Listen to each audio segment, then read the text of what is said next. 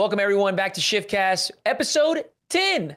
Today, we're going to be recapping the major, talking any and everything Rocket League esports.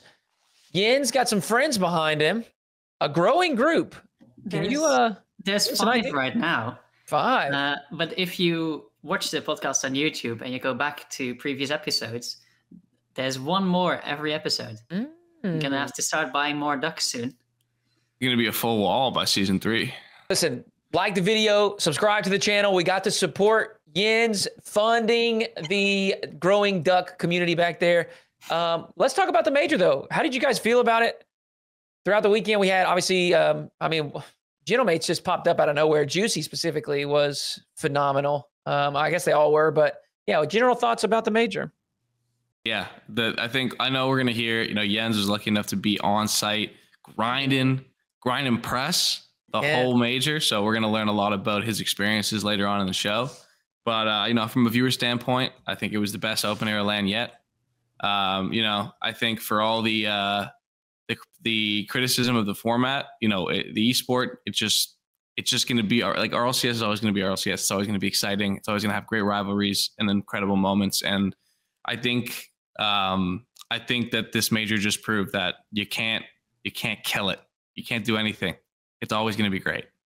I truly delivered on the matchups, you know, the games, even the crowds. It might have been a little bit smaller than we're used to from other majors recently, um, but they were hype. They were down for it. They, I mean, some of the organizations, right, brought their their own fan base, and even though Karmine Corp couldn't come with their entire entourage, they still showed up. So yeah, it was really lovely to see everything that was going on in the major.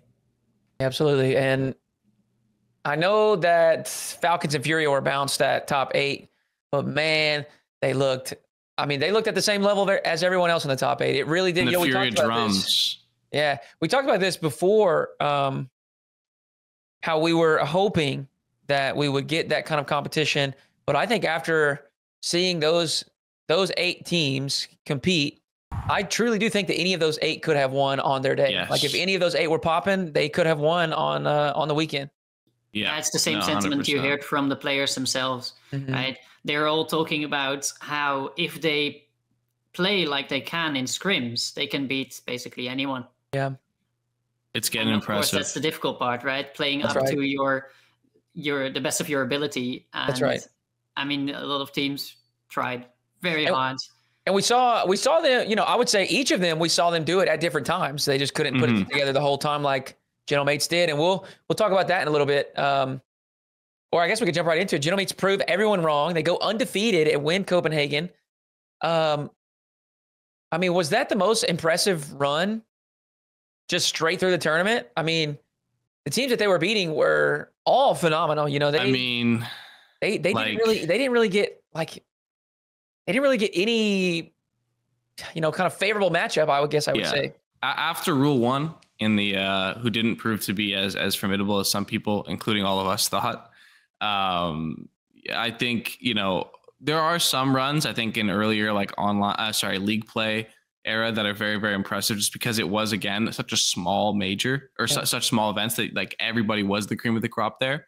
But you look at who they beat man. Bds two seed at a EU look like they were right there with Karmine Corp. Then they Mhm. sweep the Falcons, which is unbelievable based on the form the Falcons were on and the wins that they got in the tournament. Then they go into the quarterfinals. They beat my boys. It hurt, but like that team, they had Gen.G had them on the ropes going into that game six, and they figured it out. That's the second best team in NA and a team that had had the number one team in NA's number for a while. Then they go into the semifinal. They beat the consensus best team in the world a team that looked unstoppable. Like they had that plot armor that Rise and Vizir always seem to have, and they broke the plot armor. And then in the final, they went up against you know the the super team of North America, and they took care of business. And you know, so to you know, some people we have these ideas of like Mickey runs. This is just the complete opposite of whatever that was. Yeah. If you make a list of the top six teams in the world, I think they beat like four or five of them. And you know, to me, that that that is such a tough thing to do because you can't even be off for one series to do something like that because Yeah. of the quality of teams that you're playing. we should have seen it coming with uh, the sweep against the Falcons in Yeah. the Swiss stage because Right. these Falcons, the first match you could say against OG winning 3 1. I mean, that's maybe an easier matchup. But then the Falcons beat Karmine Corp, got swept by Gentlemates, and then beat Team Vitality. There's just this weird discrepancy right in the middle Hmm. of this Gentlemates team that Yeah. just comes out of nowhere and doesn't give them a single game. And and with like you said, the form that Team Falcons were on, that is incredibly impressive. Yeah. What one of the things that I didn't understand almost was that the sentiment during between the semifinal and the final, the final semifinal and the final, that was like, well, Karmine Corp's out, G 2 is gonna win. And I'm like, Gentlemates just beat Karmine Corp. They beat Falcons who almost beat Karmine Corp. They beat BDS. Like, how are they not the clear favorites in this series? Like they are on a tear right now. But um, you know, all listen, Eversax uh, and Itachi, I think you know they've committed to a sort of play style for the last three years uh, as coach player combo. And you know, obviously, winning the winter major last year, it, it was proven right. But that was seen as the Vatira major, right? And I think that was what was so awesome was to see them reload and you know get in a couple other great players, get a player unproven, same way they did with Exotic um, last year, and, and implement that strategy into the major, win the, the major, and you know write the write that roster's name into history when they were seen as potentially not a top eight team going into the major. And also, they all came from different directions, right? Mhm. Usually, you'll see a new te- team form with two players uh, already sticking together from a previous teams, but uh, all three just came from different teams. They came together under a new organization, first season, first LAN that they even are in the esports, and they managed to win it. I mean, that must be, that must feel good for Gotaga and, and the Mhm. entire Gentlemates organization, and Alpine, the sponsor, and and everyone involved. That must be Absolutely. amazing. So, Hoodie, I got a question for you. Yeah. What do you think was the difference? Because obviously they they came out really strong Yeah. in the um in the first regional, made the uh, final, fell to Karmine Corp, but they looked like they were right there. They looked like the team we saw at the major. And Mm-hmm. then there was a hit, there was a couple hiccups, and then they showed up and they looked absolutely flawless. Based on what you were watching, I know there were long days, but did you feel like you noticed anything that maybe like we're like, okay, the gentlemates online weren't doing this, now they're doing this? Was it confidence? Was it strategy? What, what, what Uh, would your take be?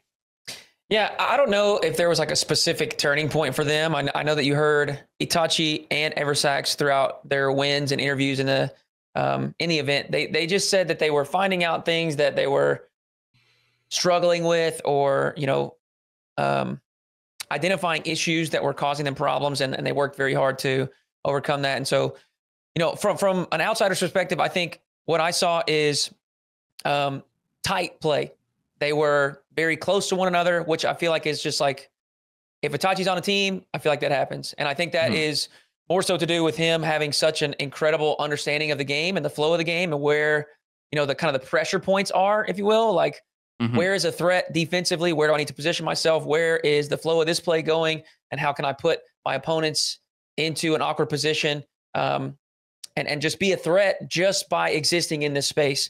And you see, you know, Bates talked about it a couple times, tap in merchant, all that stuff. But that is it's got to be it's there very- to tap it in. it's Monkey Moon esque in the sense Mhm. that it's just pure intelligence. You know, reading the game. It reminds me of Turbo as well. Just always finding themselves in the right place at the right time, and I think that's a big part of it. And then another thing that I noticed, um, and and again, I'm not. I don't know. That I don't even know that this went poorly for them throughout the split, but I, I feel like it was very, um, you know, they excelled in this area at the major. Is just their challenge game. It was never about trying to win a challenge in the sense that like I want the ball progressed down the field Mhm. right? And, and and I know that that's not necessarily win, but a lot of the community will say like win, and, and they think like forwards, right? Win a kickoff Mhm. forwards, but they'll they'll they'll you know take that challenge and drop it right to a teammate exactly on his nose. You see Itachi in the most awkward of spots, or so it looks. He'll have he'll have like 12 boosts in his tank, and he'll get two, three, four 50 50s back to back to back to back, and that's just you know draining the um the boost of their opponents buying his team time to get into a, a better position. It just felt like they were one step ahead mentally. And then on top of that, I think Juicy really came into his own. And when he started popping, you could almost just see and feel that confidence level up because he Mhm. was, I mean, there was no hesitation. That sucker was up immediately. I mean, he was flying all over the pitch. Um, and so, like I said, I, I don't know if I can pinpoint one specific thing that that they adjusted, but I thought their challenge game was incredible. I thought their positioning and the way that they played off one another and how tight um, their rotations were and, the, and their follows of, of one another's challenges. Um, and then I see here we, we, have got Eversax mentioned as a coach. One thing that I want to say specifically is um, just a sign of trust in one another, confidence in one another. They didn't take that timeout. Mm-hmm. And we hear so much discourse about timeouts when coaches don't use it when they are down two games. You go down 2 0. If a coach doesn't use it, oh, here we go. Wow, wow, wow. Mm-hmm. right? if you're up 2 0 and then a team um, bounces back and they win two, here we go again. The coach is always going to know what that team needs. Yeah. And sometimes they're going to make the right choice and they're still going to lose. I mean, that's just mm-hmm. how this competition goes.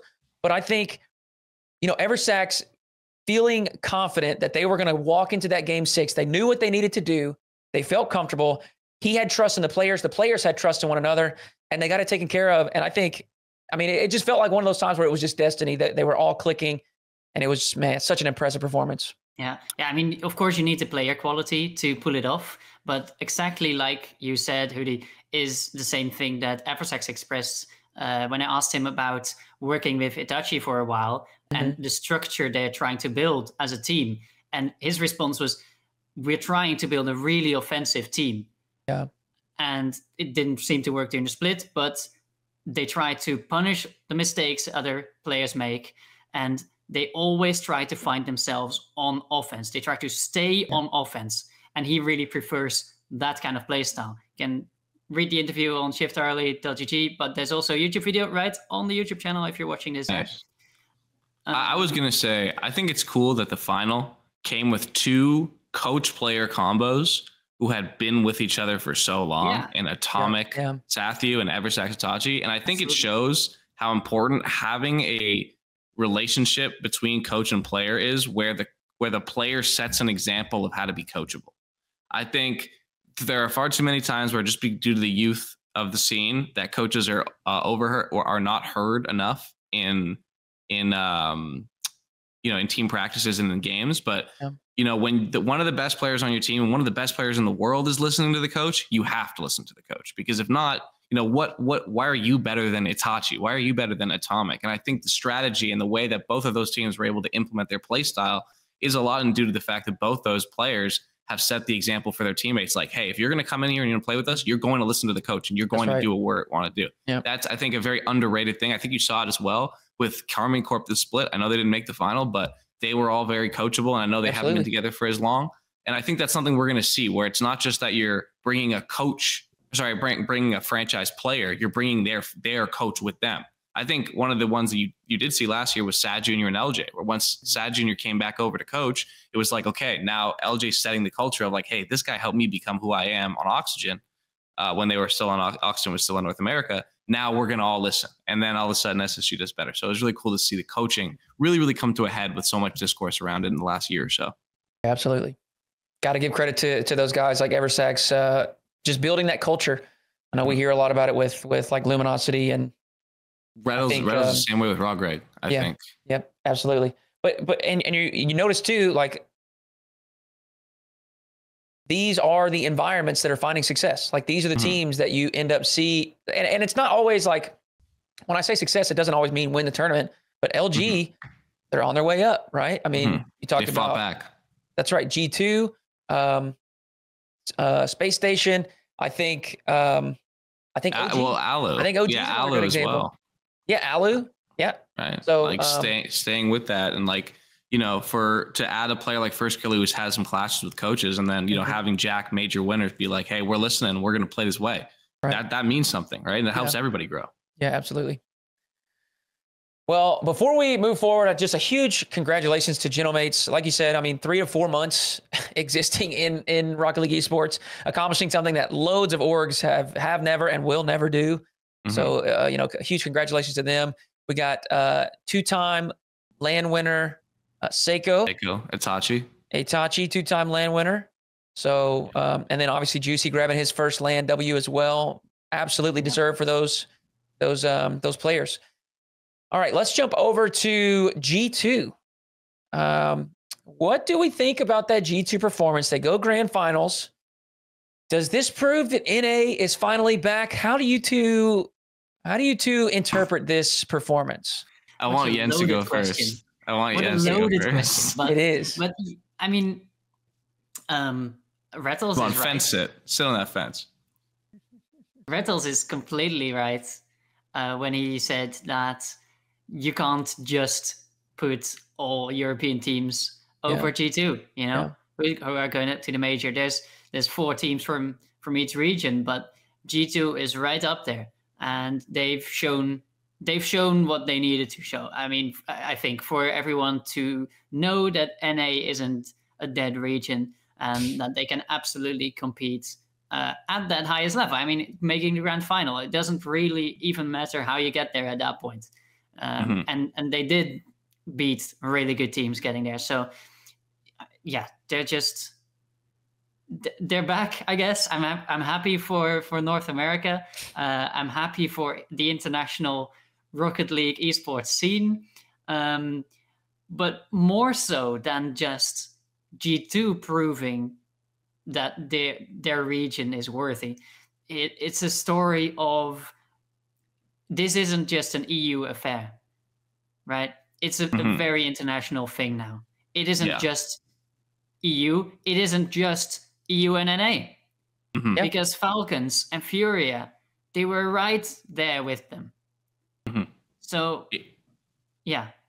Um, I was gonna say when when uh, when the and the the matchups got announced, like the top eight was finalized, I was feeling really bad for Redos man because he he came, they came out day one and just got spanked by Furia, and then here comes the Furia USA account just posting like an old tweet of his being like Sam sucks. And and then I'm like, oh my god, if G2 and Gen.G lose, he's gonna get two two of his tweets like just plastered across and just gonna be known as that guy after such a storied career. But um, you know, I think G2 I'm going to be honest. I think G2 were, was on the weaker side of the bracket, but it's not like it was weak teams they were playing. Does that make sense? They did have a tough Swiss, but I don't think it was because they were playing badly, uh, except for the one part of the game that matters the most, which is actually putting the ball in the goal. Uh, into the net. I think if they had done that earlier, they would have had a much better Swiss run. I think they would have beaten yeah. Gen.G and they would have beaten BDS. They would have had to play BDS, I don't think or they would have had to play BDS maybe, but who knows? They would have beat those two teams. Yeah. Um, but they figured it out. Uh, I thought beast mode was uh, absolutely lights out the entire tournament. Um, you know, when they weren't playing well, he was still sticking out, and then when they were playing well, he was playing well. And I think it shows the top of NA still can't compete with the rest of the world. And I think we got used to this sort of open era, early open era idea of like there's always going to be three or four NA teams sticking around, but for the majority of Rocket League's history, it's been like one or two or the big three. I don't know if you remember the big yeah. three back in league play. And I think that we're back into that where all the best players who consolidate their talent in North America. And, uh, you know, Daniel, I think, had a great, great Saturday, great Sunday. Um, Beast Mode, like I said, I think he was a top five player at the event. So, um, yeah, I'm happy to see them back. I know I, I was a little low on them after their uh, open qualifier three performance, even though I predicted them to win the event. but um, you know, I, I am I like seeing international competition. I would have been happy if it was Falcons and, and EU in the final. I would have been happy if it was Furia and EU in the final. Um, and uh, I, I, just thought G2 played really well, and, and they were able to, you know, do one of the most poetic things in in Rocket League history, which is after all the the debates in RLCSX about NRG and BDS G2 deployed the prime NRG sit in net and counterattack style and beat Monkey Moon. It was absolutely beautiful.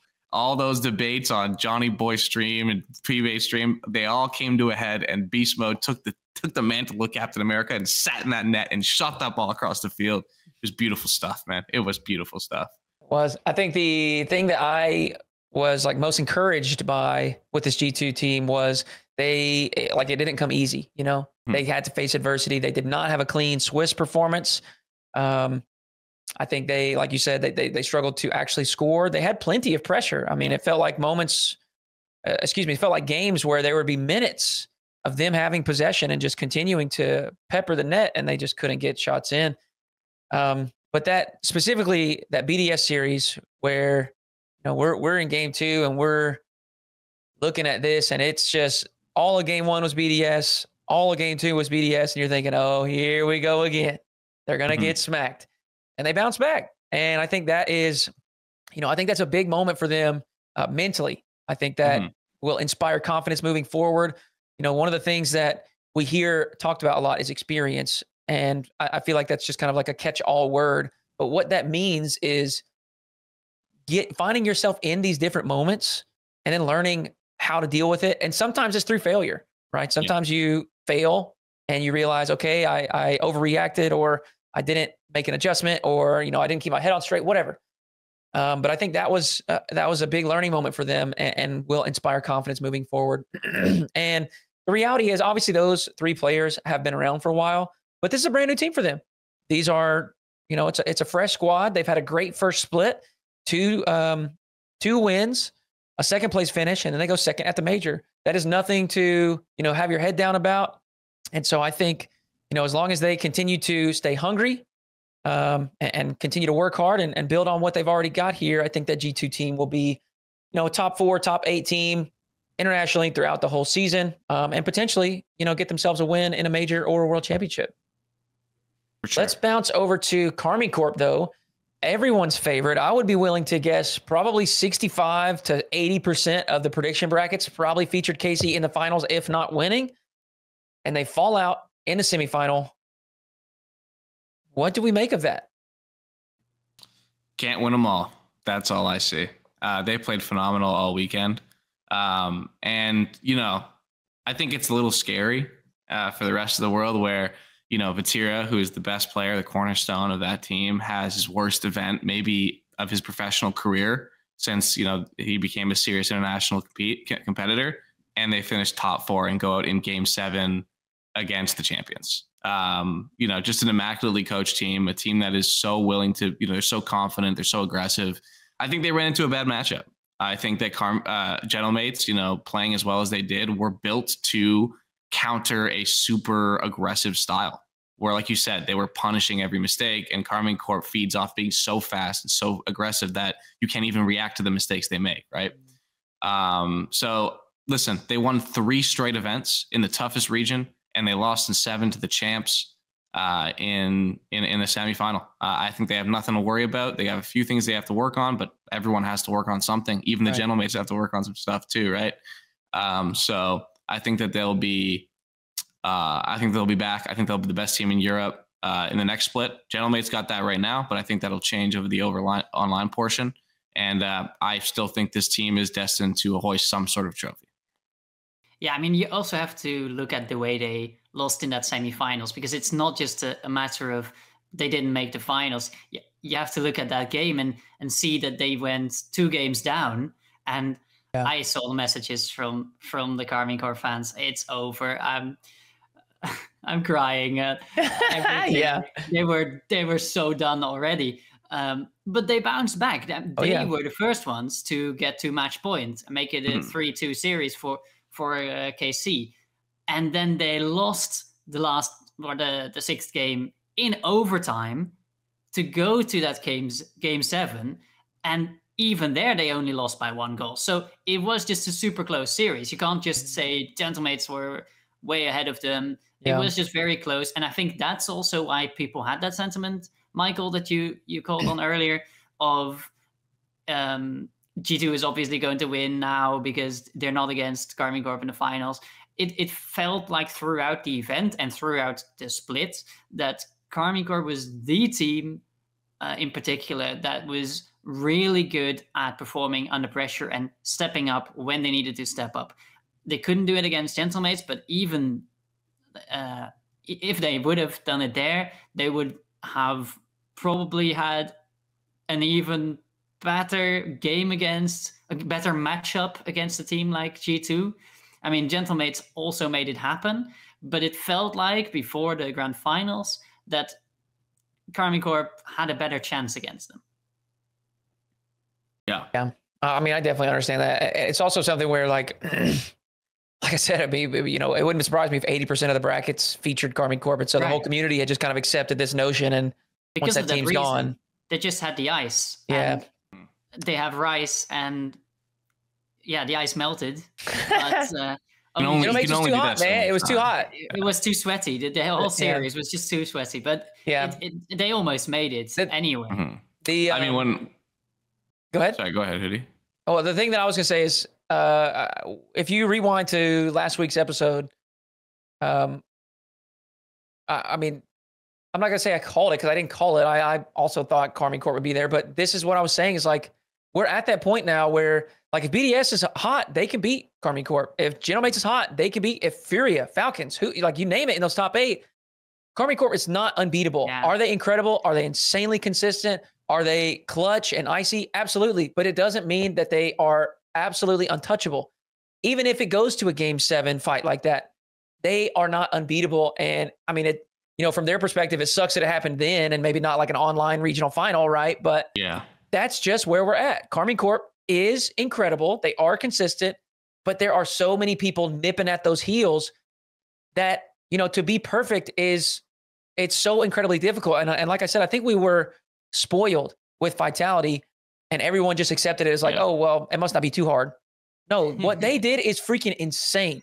It is crazy. And, it- you know, and then Karmine Corp to follow it up and, and, and do, you know, almost the same thing and win three of them it's just uh, that is that takes an unbelievable level of consistency week in and week out. Um, and, and it definitely does deserve praise, but it doesn't mean that they're unbeatable. That's just where we're at in Rocket League right now. There's too showed that they're many incredible, incredible teams. I mean, when when they, For I felt like I kept I kept saying this where like they would go down, like they would get on match point, like, another team would get on match point against them, and I'd be Doesn't like, matter. okay, well, there here here we go, here's time for the script to kick in, and it kept happening. I feel like it happened, what like a couple times. It happened once in the Swiss, I want to say, Mhm. um, and then it happened against Falcons, and I was like, even when they Falcons went 0-3-2, I'm like, these are just the main characters, and so They watching dude. watching uh watching that ball hit the ground, it almost felt like I was like Dude, in a well, dream. even that zero second, that zero second lasted forever, and I was like, Yeah. are they really gonna do I this? was like, here we go. Like Yeah. these guys, they just do it. This is what they do. And uh, Uh, yeah, I mean, But yeah, yeah. I mean, I, I agree. I think it's a can't win them all moment. It's definitely not anything to to fret about, or and I, I know that they will be dissatisfied. I know, and and that's part of what makes them so great. Is is you know, top four is not enough. It will not be enough for them, and and I'm sure that they will come back hungry. But I totally agree as well how close the competition was. Yeah. Right, Yeah. all the Mhm. teams could beat each other. It's it's actually really funny because the uh, Counter Strike major that was going on at the same time in the same city had the same thing going on. Where usually there's like one or two teams who are S tier and the rest is A tier, and Yeah. just like in in Rocket League, you had only A tier teams where everyone could beat each other, and the big favorites to to win went out in the quarterfinals. mhm. So it, it's it's funny how these these majors collided. it's just like how Gen.G went out in the quarterfinals. You know, heavy favorites. Ah, Heavy yeah. favorites. You just can't win them all. Okay. that is too funny. Well, um, let's throw this question to you here. The world looks more competitive than ever with Furia beat, defeating Vitality, Falcons beating K Corp, and Vitality uh, and G2 making it to the grand finals. Was this um, the highest quality LAN ever? Yeah. Yeah, I don't think it's a question. Hmm. I think you look at like some of the the the LANs we had last year. Yeah. I would say winter. I mean, all of them. I think this was a higher quality LAN than any land we had last year. Um, I think LA and Boston were quite quite awesome that first year of open era LANs. And then there's some in the league player, but I mean, I I've always been like really pushing back against the idea that like, oh, there's so many teams that can win. Like that was like a big um it was a big narrative going into the world championship in 21 22 uh where it's like oh you got space station v1 like furia Fal-" and i'm like it's g2 moist bds there's three teams that can win it right and i've always thought that that was like kind of a cope thing by fans or like Sure, people sure. to tell them oh yeah your team can win this was the first time i was like oh my god you know like Yeah. like literally outside of bds uh, which obviously they came in as, as as really really strong. They just didn't look good to me all all tournament. I wasn't surprised when when G two beat them, um, but all seven of those teams uh, in that in that bracket going into the final day or sorry into the quarterfinal day, I was like, any of these teams can just string together some wins, win a bunch of four three series, and win the major. And that's literally what happened. Like it was like Gentlemates went four three four Yeah. three four two. They did not dominate anybody. They were down 3 2 twice in the bracket. So, I mean, Uh, it was just a spectacle to watch. So many incredible individual performances, so many clutch performances. Uh, yeah, I can't, I, I can't ask for anything else. If every if every major can be like this, but just like a different winner, I will be watching until I'm 98 Yeah. years old. because this is the first LAN that Blast is, is hosting, right? Yeah. And they were like, "Is this always like this?" Because that's that's pretty cool. that's pretty cool. I mean, it's not real just the names that the teams that were in that playoff brackets and the matchups that were very promising, like the last quarterfinals on Saturday with Karmine Corp taking on Team Falcons for the revenge from the Swiss stage, and they did to Falcons what the Gentlemates did to them in the, in the semifinals.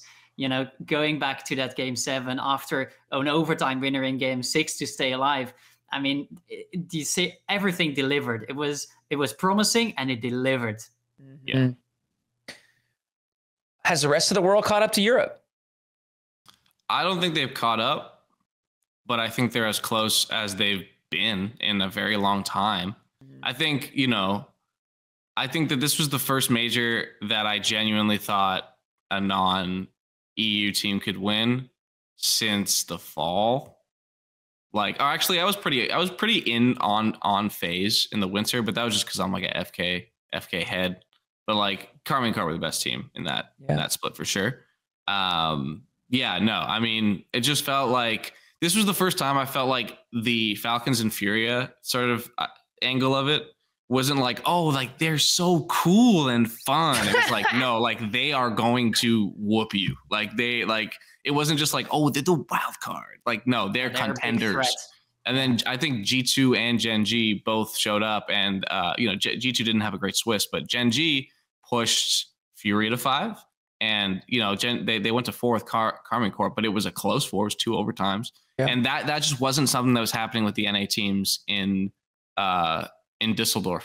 Um, they were getting 4-1, 4-2, 3-1, like they couldn't compete. So I think, yeah, like I don't think the European players are going to be disregarding the other regions anymore. Um, and I think there's now a very clear upper echelon of the esport, which is still mostly European, half European. But though any of those, all four of those teams could have, you know, lost on that quarterfinal day. Yeah, I, I want to, as a disclaimer, say that this is not something I want to say about the death of the entire regions. Sure, just sure. at Just the top. Yeah. just at the top, you can see that Europe brought four teams that can win the major, right? And the fourth seed actually won the major. Yeah. And that's that's a crazy story to think about from the other regions perspective, where in North America you realistically had two teams who had a really good chance at mm-hmm. winning it, and you had one team. I guess complexity kind of fell short. I guess uh, kind of the same story for Rule One. Yeah. So you had one team from South America, one team from the Middle East, who were in that kind of conversation for really making it to the grand finals and maybe even winning. You know, Th- there's something to say for those teams. So you could say that they haven't caught up because there's four teams from Europe who could do the same right. thing, but on at the very top, the level is there, and that's there, really yeah. important to see as well. Mhm. It sets that, it sets a tempo for the rest of the region. Like that's the level you got to get at. And that's how you get more Yeah. teams to that level. Yeah. Yeah. But so now let, let, let's put our money where our mouths are. Hoodie. Give me your top five teams in the world post major in order. No, Okay, in order. no ordering. In I mean, order. 'cause the- In order. it- it's hotly contested now. There's people saying the major winners aren't the best team in the world. Yeah. So, so let me so let me hear your top five. Um, yeah, I'm gonna be one of those people. I think I'm gonna go Karmine Corp at one. And I know, I know, I know. Gentlemates just won. I know they went to seven though. Played them well. They did. They did. I'll put Gentlemates two. I, you know, I think it's and, and I'm if somebody has Gentlemates one, I'm I'm not gonna, you know, I wouldn't debate it. I think that is very fair. You know, one A, one B if you want. Um, but I, I think Karmine Corp's resume, you know, what they've shown throughout their consistency level, I I still have them at at that number one spot. So I'll say one, KC, two, Bates. I'm gonna go three, G2, Nice. Love it. four, Falcons, five, Vitality. I like that. That's that's a, that's a good and those. I- I'll say, like what it really is is like one A, one B, and then like three A, three B. I'm I'm I'm torn. Like I, yeah, it doesn't make sense, right? Like I, it should be Gentlemates one, they won. It should be Mhm. G two above Falcons. They made it further, but but Falcons were freaking phenomenal. They were so incredibly good, and y'all know in the last one I was so excited about that team, and I just felt like they've been competitive. They've been a solid roster. Obviously, had the the different um, iterations of the Falcons rosters has has dominated that region, but this iteration is different. they're a cut above, right? They're different. And they showed it, man. They were so so impressive. So yeah, I think those are my top five. And Vitality, frankly, they're fifth, and I still don't think they're performing anywhere near the level they could. Yeah. I think they could be way better than what they've shown. Yeah. Because they're you, you got Radosin was just like lights on, lights off. You know, Mhm. like there's some like when they're playing luminosity and that ball bounces in the box and there's no one there and he just jumps up and just doesn't make contact and Magic Bear's like, well, I guess I'll tap Sure. this in. There's no one. Uh, you like that is not the same Radosin that we saw on Saturday, Sunday. That's not the same one. Yeah. And so, and I, and I think Alpha was a bit quiet throughout the event um, at times, and Zen I think was a little bit quiet through Swiss. So, I think that team still has, you know, they, they still have that level from last year. They're just not. They're not there. They're not performing at that level right now. So, Yep. yeah, those those We- are my top saw- five, and I think any of them could, you know, destroy any of the others if they're if they're Yeah. popping on their day. We we I feel like we saw like a little vintage vitality against Furia. Like they just Yeah, looked yeah. so in sync, so It fast. really does seem, and this is probably oversimplifying it, but it seems like if Radosin is on his A game, they're like so Yeah. unbeatable. He did Well, have he- the family in the crowd buff that helped Yeah. him a little bit. That's awesome.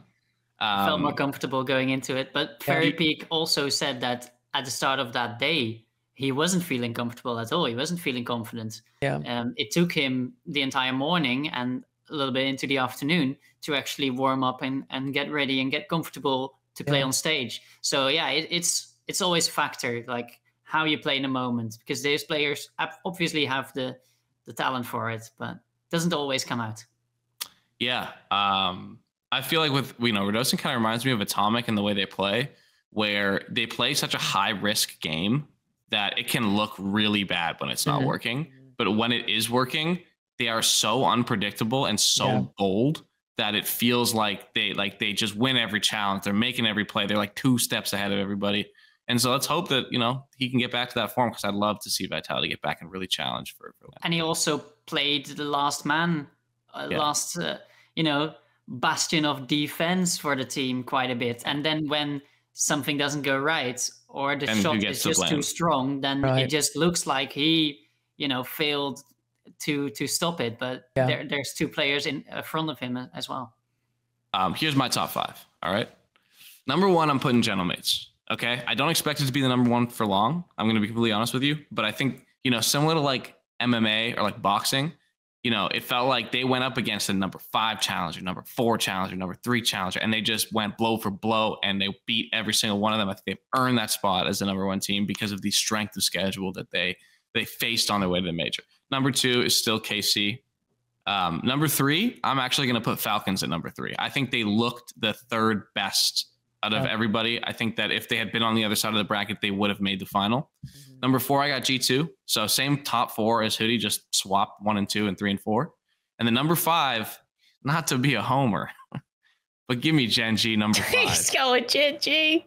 because listen, Vitality, they look great one series, didn't have a Yeah, great Swiss, inconsistent. lost, and, got- and and and they kind of blew it against G2. Gen G, I know they didn't make the top four, but they had with it with a with a let's say less than ideal performance from Chronic. It's nerves, no blame, it happens. And you know, Jack was dealing with some like stuff with his controller. They still got top eight, and they were still one game, one Yeah. goal really away from taking down the champs early in Mhm. that. And who knows if they beat that they, they- maybe they beat Comic or maybe they win a major. Or maybe I buy a jersey and wear it for the rest of the season. But thankfully, my wallet got saved.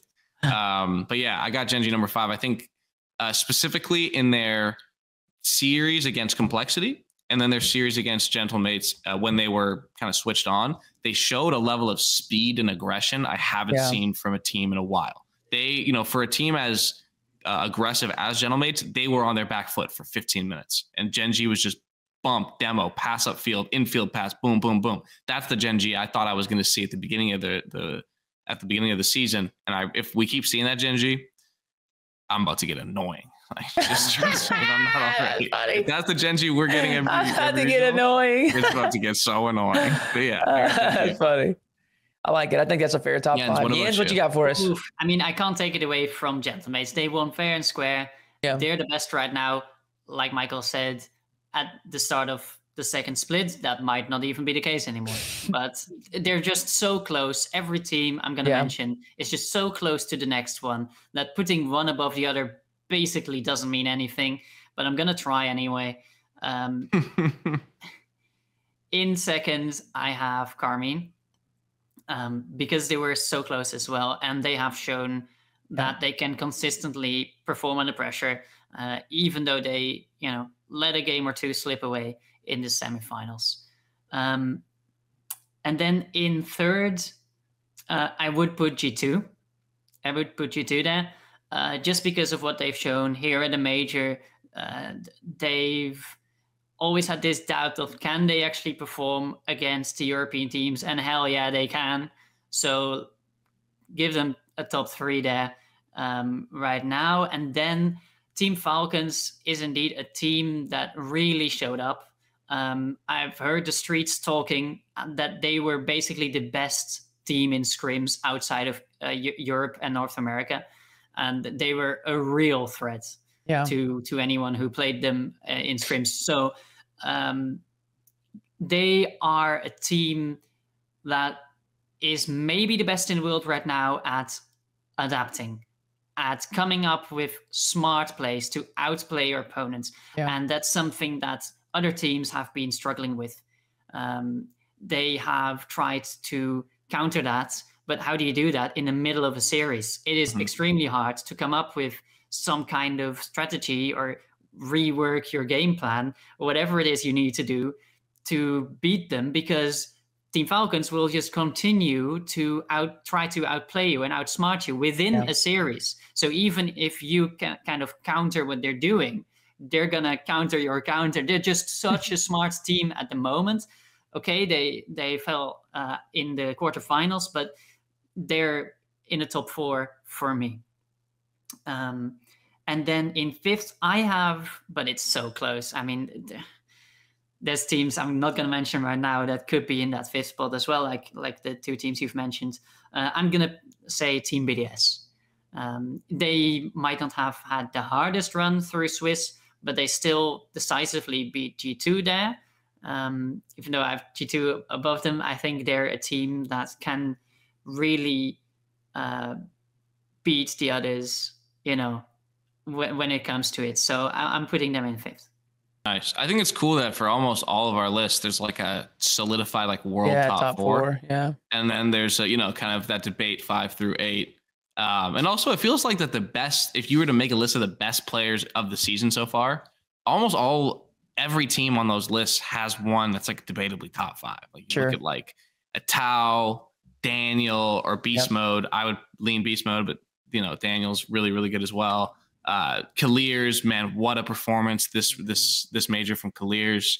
um i think i was i think in the minimum in the uh in the minority, I thought Seikoo was the best player this weekend. Just the they basically said your job is the entire back half of the field, also score, and he just controlled the game perfectly. I, I was so impressed.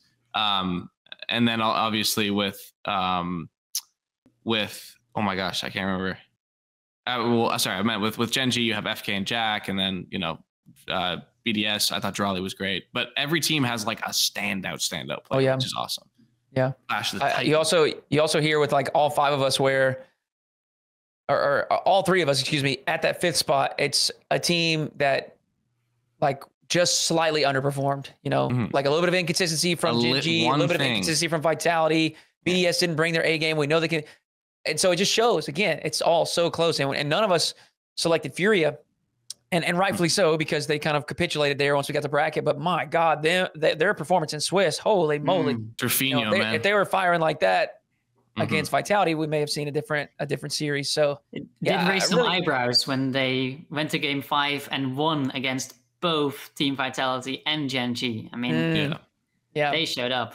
yeah, they really did. Um, I mean, it's such it's such a it's such a tight race with those top eight, and, and I really, I, I actually think I think complexity is not too far behind as well. So Yeah, but an I think it exciting is time for just- international competition. It's just about fair that they dropped out of the top eight, even though Yeah. I would have liked to see them in as well. Yeah, I yeah, think That's the right. top eight we got out of the Swiss stage is the, best top teams you want to see Yeah. go 100%. through and be in that playoff brackets. There's no And- weird upsets, even though a team like Rule One definitely underperformed.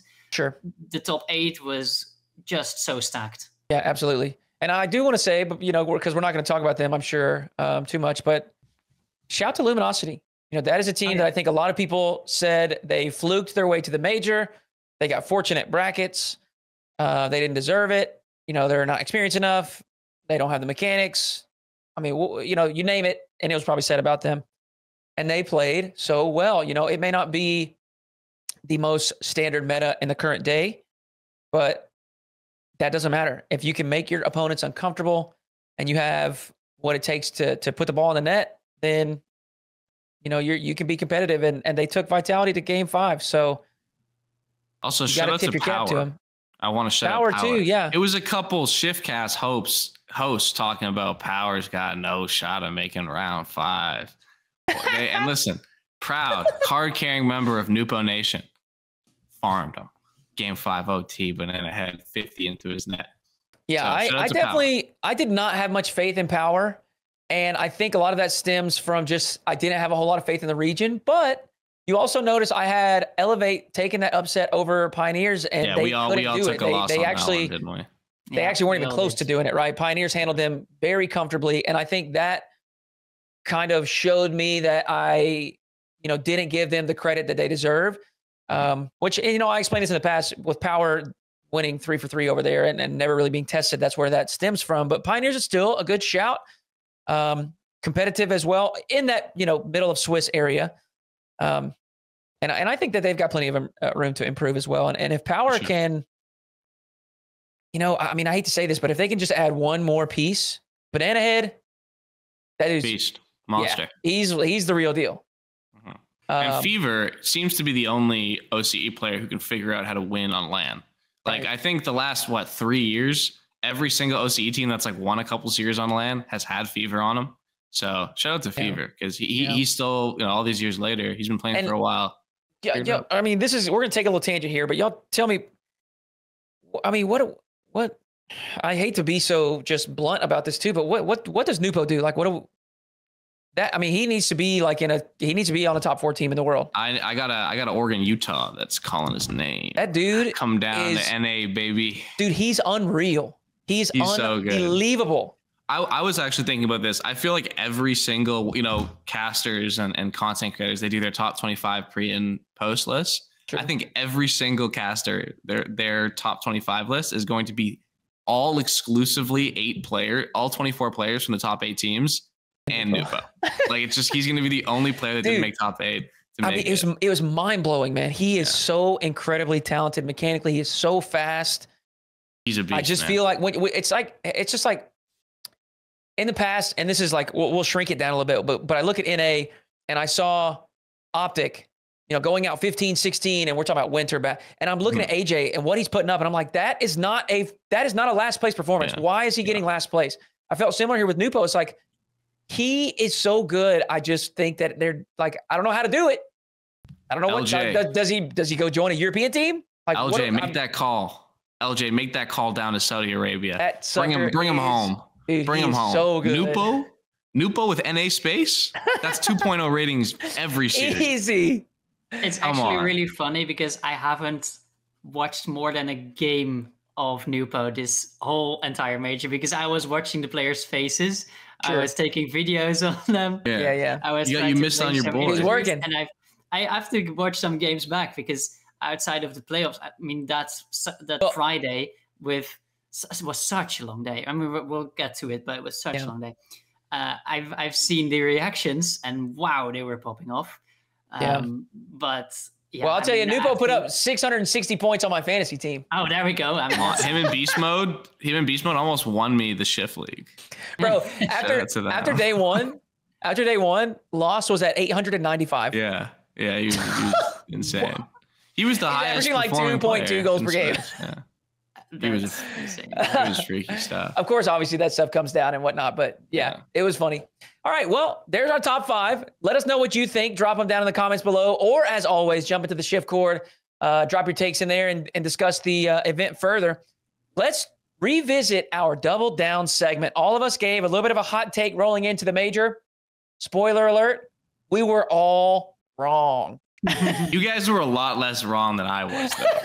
I mean, not not a little bit. you guys were close. Wrong. You guys, you guys had actually takes that it was close. Yeah. met in a final game in in the Swiss. There was Yeah. there was a there was a chance we that if we you, almost like helped each other. yes, it, it was all down to one like 50 seconds that LG just let Yeah. their So my my Yeah. take, my my double down take was uh three NA teams make bracket. Obviously that didn't happen. LG was very close. Jens had to take Vitality will not make bracket. So we could have double whammy right there. That would have Yeah, been a legendary moment. Legendary moment. Bro, I w- I can't lie. I was so salty. And listen, I am not like um I am not like a I'm born in North America. I'm a diehard bleed. You know, I, I don't I could I'll be honest, I don't I couldn't care any less. What I'm cheering for is the most international competition we could get. I want to see Falcons and Furia win. That is my like that's what I'm diehard about. But and so defense in the arena, by the way. yeah, it was yeah, a I lot can hear it. support for G2 Yeah. Because we didn't want to see an EU top four. Right. But I say that to just like I'm not just in a super fan, but Luminosity beating Vitality would have had the space in shambles. It would have been It would so have been- funny. Johnny had already tweeted out, you know, like Yeah, the, uh, loft the, the the eight number of Frenchmen. players in the bracket. I mean, it would have been hysterical. I was so salty, but obviously Vitality stepped up when they needed to to to make that win happen. So Jens and I, unfortunately, did not uh, double down correctly. Yeah, for my They for my hot take. They were a They little were, bit too yeah. hot. They- for, they- for my take, it burnt us a little bit. I had uh, Gen G going to the final. But if you really think about it, you know, they lost in game seven to the Mhm. champions. right. So if they had won, Yeah. you know, it's not, you know, yes, another team did lose in game seven to Gentlemates Mhm. as well, but that's that's fine. They would have choked it again. The KC Rise chokers, we know that. That's what they're known for. So That's really, I think that for. the I think that the the quarterfinal series, Gen G know. versus Gentle Mates, trust source, trust. I was just gonna let him yap or what is it? But I think See, so. have I you think seen that, that, I was that like source? I made it up. The guy. Yeah, I made it up. but I think, This I think- definitely came to him in a dream. yeah, but I think if if Gen G maybe won that, I think that might have been the real Dude, hey, finals. I don't know. to to to be fair, in the reality that we're operating in, me and Jens were closer. It was ve- like it was actually very close to happening.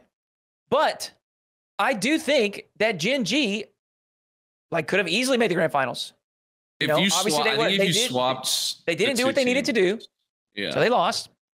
But we've been saying it the whole time. All those top eight could have been there, and and Gen G was playing well enough to do so. So I think if I don't you think take- it's a I don't think it's a bad take by any means. I think if you take any of those four teams that played in uh, three, the other three teams that played in Gentlemate's bracket, and you put them down, obviously you don't know how they're going to perform in like a matchup reason. I think they all played to the level that G two did. I think they could have made the final from that. I think Yeah, Falcons and I think Falcons and Carmen Corp absolutely probably would have made the final from the other side of the bracket. That felt like Uh, I- final. Yeah, and I'm going to cope by saying Gen G also would have made the final from that Yeah, side of the yeah. bracket and won. Hey, Chronic you know that's the whole point. We give some hot takes, and and frankly, we were all we were all fairly close. So They were too bad for us. They Not were too bad. We'll we'll revisit that segment and see if we can see if one of us can get one right here in the future. Yeah, All right. that should be fun. Well, we've talked a lot about some of the results and things that have unfolded as far as the competition goes. But Jens was on site. Um, obviously, as he just mentioned a minute ago, he was doing a lot of working with shifts behind the scenes, interviews, media, etc. But we got some questions here, and I want to hear from you. I'm actually really excited to hear about this because I saw tweets from Lethamyr talking about, you know, he got a chance to speak with some Blast employees and he feels really encouraged. I saw Mertzy saying, "Hey, I know I've been, you know, very vocal and very negative about things, but being here on site and talking with people, I, I feel more optimistic and, and and I feel encouraged about the future." So, Jens, talk us through a couple things. The first thing is just what what, what was your day to day like during the major? And obviously, this is through the perspective of someone with media access. Is that right? Yeah, that's okay, right. so he, he's Yeah. got some access to areas of the venue My, uh, that your typical fan new wouldn't. lanyard's right there in the background behind me if you're watching the the video of this. I can see it's it uh, like becoming so quite a collection right now. Yeah. I mean, I- I'll show you just a second. Let's see what he's got. Come on, bring it over. Oh my goodness. For the watchers and not for the listeners, unlucky Spotify. Holy moly. Um, we've got the new one, Media. that's, Oh, that's nice. That's nicer than the old one. It is ones. nice, yeah. It was very nice, yeah. We got this on Saturday, although we were there on Friday as well. Got a wristband for that, just a paper one. Uh, but they've got some other press ones uh, Yeah. that they can show off and uh, use as Cover rolls. decoration. It's always fun to collect those. I got my little Oh, collection. absolutely. I got my collection back there as well. Yeah. One of them is even in Spanish because in um, the one in Madrid, they just used Spanish to say periodista, journalist. Oh, there you go. So um, yeah, it was it was lovely to be there. Um, first of all, I had bought my tickets for the Counter Strike Copenhagen major last year, months ago, because I wanted to go there for Counter Strike. Been Yeah. to Antwerp and Paris majors, and and the first CS2 major was really exciting. Uh, and then we got the announcement of the RLCS major being in the same city on the same weekend. So I had to sell those tickets, but I could still go on the Thursday before the things on stage happened there. Luckily, nothing went wrong for Rock League. But if you don't know, people stormed the stage at the Royal Arena for the Counter Strike event, and uh, security really had to step in. And it, it it's a scary situation, even though nothing really went badly. It's still a scary situation, and luckily, everything went great for for RLCS. It was a great Yeah. event. But I think it's an open secret that Blast didn't really have the time to put on the best major one they wanted, right? They Yeah. came in three weeks before the start of the first split. They had to organize everything, they had to take over the entire organization from ESL. And they went with a, a venue that they could manage, that they could get. It's in Copenhagen. Uh, it's a Danish company, Blast, so it made sense for them. The arena looked more like a sports hall in an average urban neighborhood. Um, but then you actually came inside on the Saturday, and the stage looked phenomenal and brought it all back to the level where everyone was excited about it. So that was really good. But my first day at the RLCS Major was on Friday, uh, when the players weren't playing in on the floor in the arena yet, but upstairs, you know, in the basically in the uh, in the foyer, in, in the in the area where people could get their drinks and and uh, and could walk around outside of outside of the stands. Um, upstairs there were booths for the casters, also for the other language casters, but the the casters for the A stream and the B stream were right next to the players. So you Yeah, might have heard some of the cheers and the Oh, yeah. "Ah!" from the You know, players when they won a game Actually, on the other stream. occasionally you would get a production mute because a player would be screaming a curse word. Ooh, I have Yeah. heard some curse words. Calm. I have. Calm So- said some crazy stuff, and that He might have. have. He might have. I didn't record it, and uh, I'm I'm kind of happy that I didn't. Um, but we had the the players sitting, um, basically the two teams from the A stream and the B stream, with in between a little area where Leaf did his interviews, where I've also done uh, some of the interviews with players there, and it's so loud with yapping. There are because you've probably seen, and if you haven't seen them, go look them up on YouTube. Teams releasing their comms videos, right? And those three players are basically con- talking through each other the entire time. Just, just I got, I got time, time, time. Yeah. Whatever they're saying, no one is taking a break from yapping, yapping, yapping. There is constant yapping going on. They're just taking everything in while they're talking, while they're explaining where they are and what they want and a fake and the time and everything's going on at the same time. But that's only one team. That's only three players. Mm-hmm. When you were there without noise canceling headphones, you were hearing that from 12 players at the same time and two, and two caster duos. It was so hectic. It was so yeah. hectic to listen to, to see, and also the entire production of it because there were admins walking around, mm. changing out setups, adjusting the heights of the desks, everything, swapping out SSDs. Everything was going on because there were two streams going on from 2 p.m. until 10:30, 11. That was when the last game finished. So yeah. it was a long day for everyone, especially for the admins who then had to bring all the PCs downstairs to the floor area and set up the stage for it. So, I mean, props to them for getting all of that work in because they had to be there at like noon, I guess, maybe 11. And they left at midnight, maybe a little bit past. So that's a that's a day and a half. Brutal. Yeah, it's brutal. But the first day, um, there wasn't really an area for the press. There was a press room, but no area for, to talk to players other than the, the little interview booth that Leaf used for the broadcast as well, which we tried to use as well. But it's a learning experience, not just for Blast, uh, but for us as well. It was the first time we were doing some video content. Uh, the first two interviews um, were with Lost and Snowy, and I'm, I'm sorry if you're hearing this, but we lost ha, the audio on that one.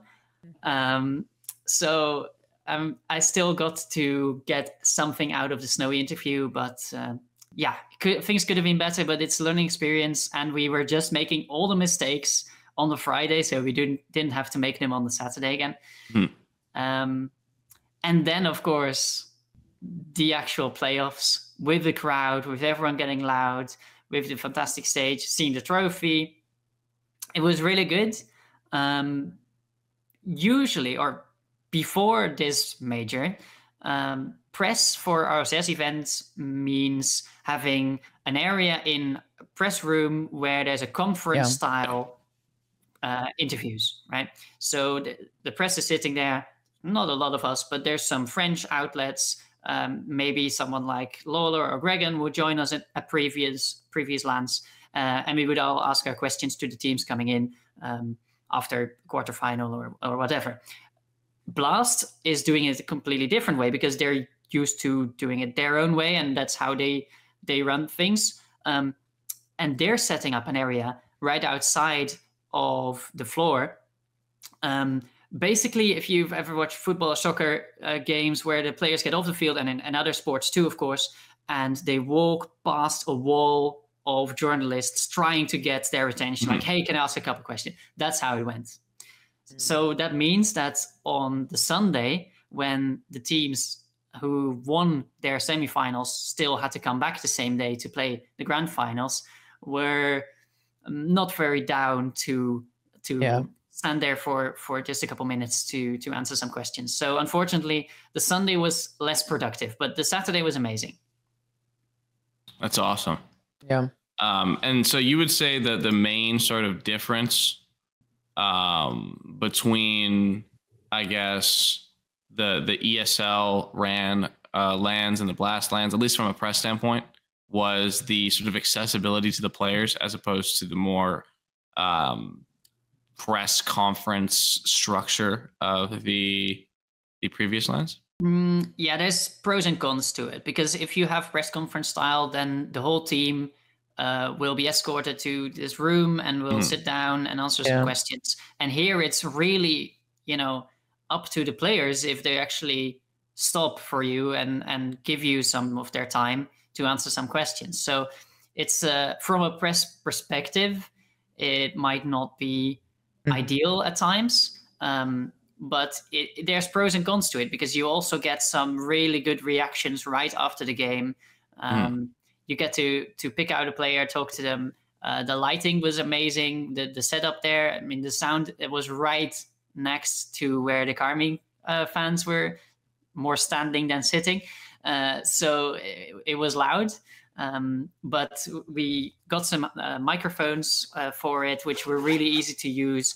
You could just g- get a box like this, and get a receiver on the camera that uh, Martin Faulty was bringing one the other shift colleague, and I could clip one on here. I could clip one on the interviewee, and we were done in a couple minutes. So it, it was a it was a good setup. It's just something that we're not really used to, and uh, that we have to get used to, and the players too. I feel like if the players know what's expected of them in the next couple of LANs, then they're also going to be Yeah. better with these kind of interviews because now it was just like what what's happening the first uh, player i wanted to talk to was eversax and he was like uh, manager can i even do this they just weren't really briefed very well on it but it, it's a learning experience for everyone involved like i said and this is a, a big step in, in, in that Yeah. Um, and then outside of the press, like what you know, we saw, I guess, as viewers from home, uh, there was a moment in which uh, on the first Tusk pre-show,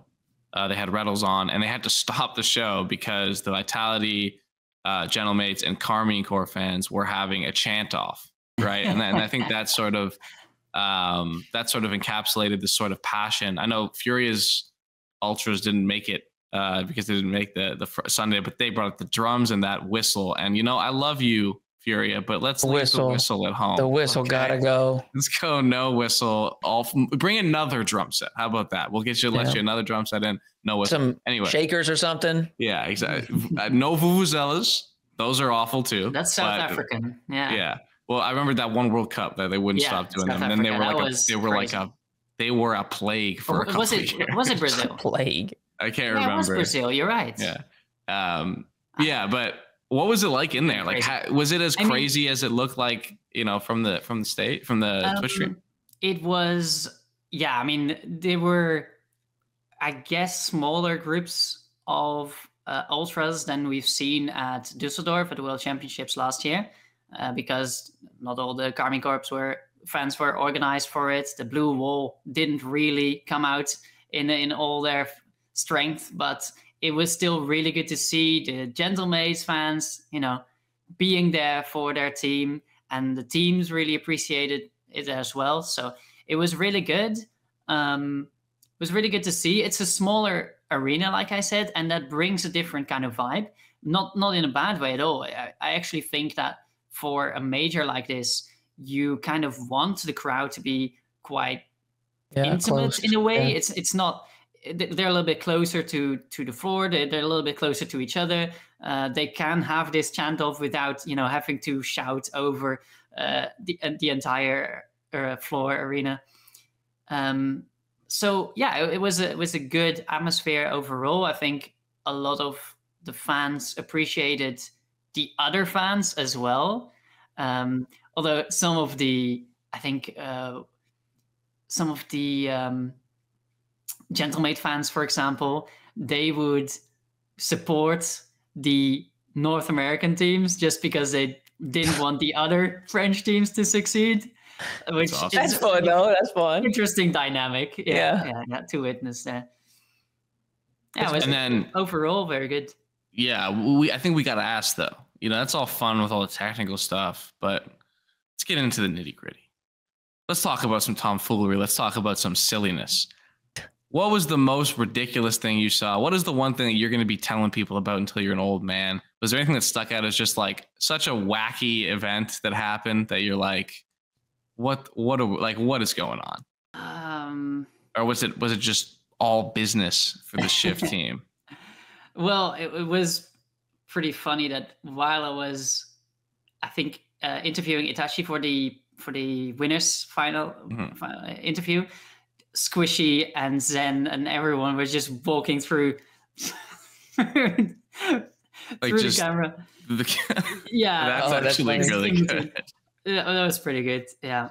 I heard Um, Squishy was fanboying over the Counter Strike pros while the game was on, which is a Oh pretty yeah, hilarious they, thing. like ZywOo and Apex and the, the other Vitality players came stopped by, which was really fun. Yeah, and um, I had some of my friends in the crowd from you know, you know them from the 104 section from Mm-hmm. London. Now we're returning to London, so they're, they're all very happy about that. And every time uh, I walk past, because we didn't get into the press area next to the stands through another door or anything. We needed to go through the front, and it was at the back. So we needed to walk in front of the crowd, uh, along the long side of the floor to to get there every time. Uh, not during the games, at least we tried not to. Um, but they were like, uh, every time I came by, uh, hey!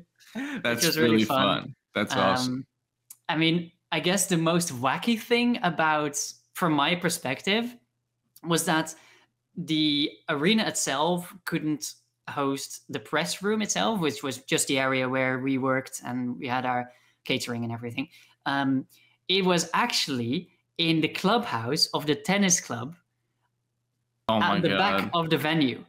And I think some of the talent, some of the casters got to use the direct connection between the two buildings. Hmm. But we actually walked out through the side door at the front, Yeah. along the venue outside, into the clubhouse and up the stairs. To, that was it was very wacky, but it was a good. It was still good that Blast actually gave us access Yeah. to that area because it was lovely to have that kind of space to work on things. Um, and it was interesting to sit opposite of the people announcing or releasing the um, the world's announcement Yeah. for the location of, of Oh yeah, that is Actually, cool. we, we were briefed on that like 20 minutes before, like there's, there's going to be an announcement. That's fun. You Not- had the not what intro. it's going to be, but there's going to be an announcement.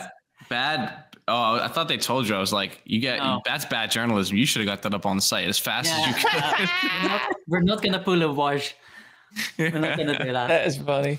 Um, Well, I mean, it, that- it that- was actually really good talking to some of the people from Blast because we got Yeah. to see how much of a learning experience it was for them because they are very new to the esports. But what they were doing during this LAN event and during the entire split, I've also heard from the uh, player managers and the the RLCS admins who have been part of the team for for years. Sometimes they're really the experts when it comes to Rocket League esports what Blast have been doing really well is listening. Because this is not the time for them to make rigorous changes or haphazard decisions on how the esports should be run from their perspective. No, this is the time for them to listen, to listen to the people who know what they're talking about. And that's what they're doing. Of course, there might be things that might not go perfectly how everyone wants them to go. And there might be changes that people are opposed to. But what happened here is that they're listening and they're very approachable also for us to talk to and to see like hey how can we do this how are we doing this next lan uh, they they've had so much more time for it than for this one and they're you can see that they're playing it safe right they're going Yeah, back to two locations we've been before they're they're it's a safe bet for them but that's i think a That's good thing okay. because That that's I mean for this Just nail it. season. Just I don't nail want to call it a transitional season because we're still taking making the most out of this season. It's not it that we throw away the entire season because it's just a transitional year. No, I don't see it that way. But I see it as a safe bet for them to work on improving the show itself. Right? They Mhm. they did that with the stage already. I mean, they're known for putting on really good LAN events. So that's something uh, I think we can only expect from them going forward. But what they've also been doing is listening to every other aspect of the esport. When it- some things you might not even notice, like um, for example, getting um, the coin was an idea from one of one of the new uh, Blast employees who has been in esports for a, a long time. Who I've been talking to at previous LANs as well, and and they're taking that on. They're taking on new projects and they're trying to build it in their their own direction. Maybe Yeah. it's a different direction than ESL would have taken. Sure. Um, but yes, I too am hopeful. Of course, it's such a nice environment, so nice to meet everyone. So you're always going to be, you know, looking back at it very fondly. But I really do believe that from what I've heard, um, there's a lot to be hopeful about. Of course, we'll have Yeah. to see how it turns out, but there's a lot to be hopeful about. It definitely. Seems I mean, the it seems that way. I mean, we Yeah. we got early announcements, as you Yes. said, um, like Part of it. locations that are, are don't. It's not a high risk thing. You also notice that the Fortnite Championship Series is like a week or two before, also at Dickies Arena. So I'm sure that you know coincides and, and is helpful. They got drops Yeah. on. Um, they're listening to you know feedback from, like you said, Day people that have been around for a long time. So Best of five. yeah, Anyone? really, really, really hopeful. Yeah, that's right. getting, Making that adjustment to the qualifier as well. I'm definitely hopeful, and I think that you know this first event has, like, has given reason to feel optimism. Um, You know, on a personal note, I over the last like three months have definitely felt very uh, just a lot more negative than I have ever been. I'm a very optimistic person, and I, I don't I don't want to feel negative about like the whole thing that I chose chose to make a career. But um, you know, it, it, just felt that way. I think a lot of the community felt that way. Um, you know, the, the RLCS aspect of it, no CRL announcement. Um, you know, the game has just been very stale. We lose trading. Yeah, it can be scary. So there's definitely been a, like, in my opinion, understandable pessimism around it. So to see some of these things uh, that Blast has done in the last two to three weeks, um, you know, pumping out some W's has definitely got me feeling a lot better moving forward. For sure. And I was, I was saying a, a, third crowd day at yeah. uh, the World yeah, Championships, awesome. which is amazing to see. Yeah, that means that. Well, I'm sure because they're planning on doing the same um, format, right? It's going to be Swiss. So I would, format, yeah. I would assume that that'll be if it's. I think it was. They said it was a six day event.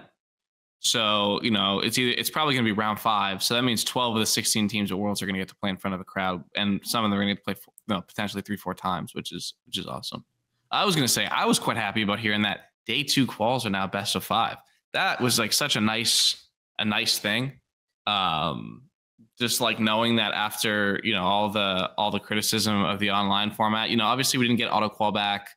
We need to have that back. We didn't get day three Swiss back. We need to have that back. But it's a step in the right direction, right? That's a, it makes it a little better. I, uh, you know, I will concede that it's a good change for consistency. But as an individual that snuck my way into top 128, we, should, we should be having uh, less games. We, I was I was playing with Lemon Puppy one night, and we were talking about it, and you know, I was I was talking about how good it is. He's like, "No, that's bad. That's our only chance for an upset. Is a best of three.